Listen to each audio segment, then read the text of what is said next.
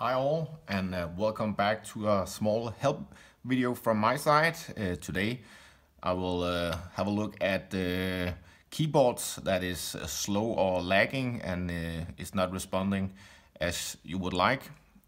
Often when I do messages in here I want to type in and I have experienced that the keyboard is very slow. If you type something it's not really doing, it's not coming up if I click down here. So uh, sometimes this is slow and lagging and uh, I have uh, four points that I want to show you today that can uh, help and solve this issue.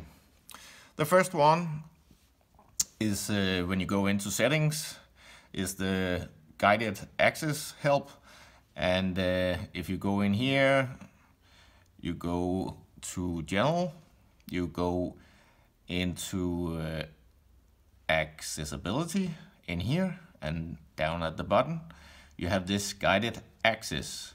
In here you can either turn it on or off and if you are having a slow uh, keyboard this can actually be one of the reasons so you can turn this off.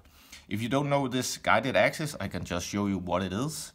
If I go into my message again I click the home button three times in a row you can see you get this guided access thing and you can actually uh, put in a passcode for this specific uh, app to uh, only the one who have the access code can open this app and use it. So uh, that's uh, one of the things you can do. Go into settings, go into general, go into accessibility in here, go down the bottom, guided access, click on that one and turn that off by doing this. And if I go back to my message in here and I click the home button three times, you don't see the guided access functionality anymore. So that can be one of the reasons that you don't have uh, a keyboard that is responding as you would like.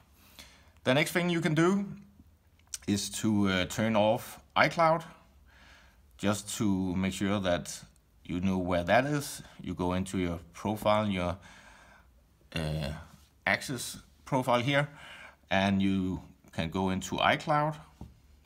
And in here you can see what you use iCloud for. And down here you have this iCloud Cloud Drive. You can turn that off and on. As you can see, I have it off at my iPad.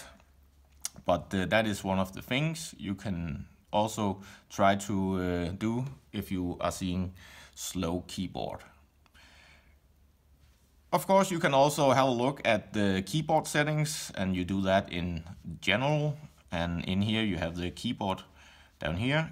If you click the keyboard, you can see a lot of different settings. But at the top, you can see how many keyboards have been added. I have three in here.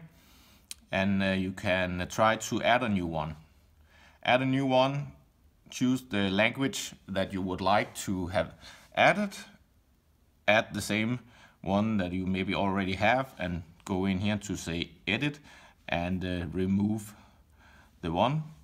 Click over here, you can see you get this delete and you can delete the keyboard you have added already and uh, try and add a new one.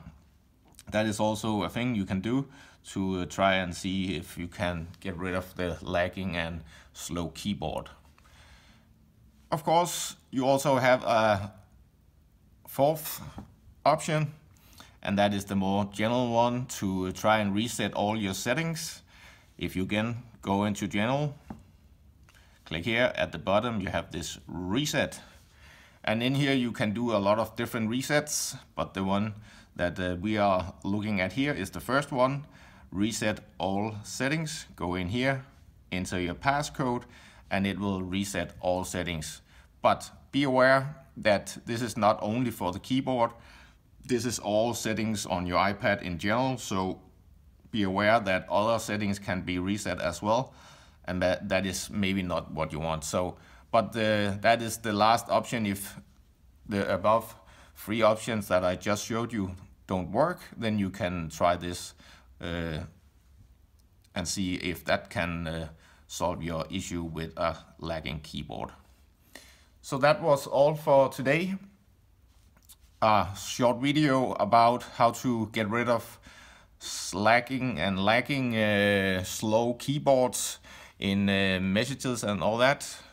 Hopefully this can help you solve your problem. Uh, if you like this video, give me a thumbs up and uh, subscribe to my channel and I will uh, get back with to you uh, in, in the comments if you have any. And I will see you soon.